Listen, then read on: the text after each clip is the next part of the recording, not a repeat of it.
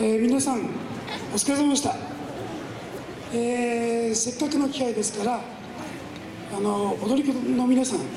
上を見てください。桜が満開ですね。多分あのこのような満開の桜の下で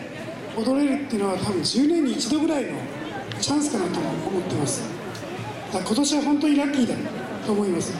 ぜひあの日立市の花は桜なんですね。あの今日最後にみんなで記念撮影をして今日の思い出をあの持ってってください。それとあの今日はあの3時以降は雨の予報でした。えー本当にあの皆さんのパワーで雨も降らずに終えることができました、あの先ほどのエリカさんも言ってましたけれども私もあの審査をやらせていただきましたけれども本当に僅差なんですね皆さん、あの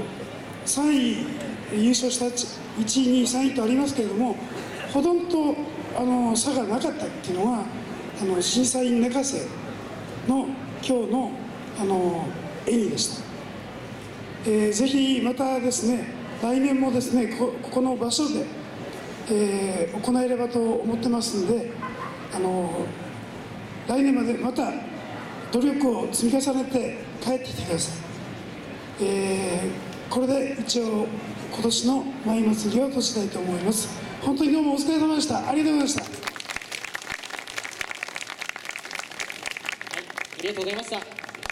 ーそれでは、えーお話もありました通り、この後、閉会後、えーゴールドチャンプのダッシュ、それにシルバーチャンプのピースロード、ブロンズチャンプの GYO の皆さんは、えー審査員の皆さんと一緒に記念撮影を行いますので、えーまだ帰らないでお待ちください。